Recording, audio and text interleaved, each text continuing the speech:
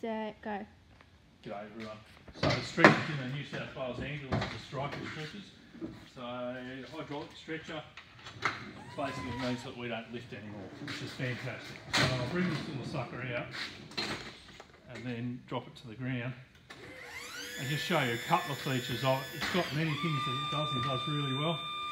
Uh, one of the things that we're really happy with these Strykers is that the manoeuvrability is fantastic. You can take this button up here and you can basically spin it on itself. So where that's really handy is if you're going to nursing homes, houses, tight spaces, you've got massive uh, manoeuvrability, which is fantastic. The other thing is, is I'm not really using a muscle.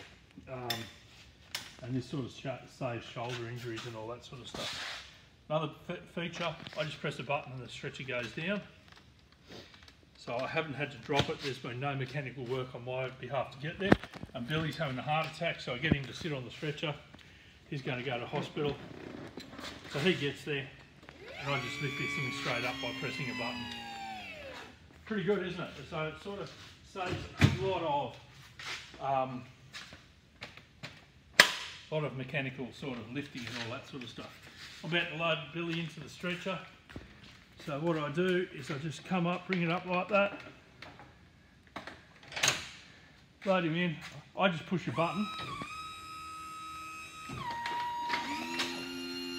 Have not used a muscle yet. Lightly push it, in it goes. Come away, fly to Billy.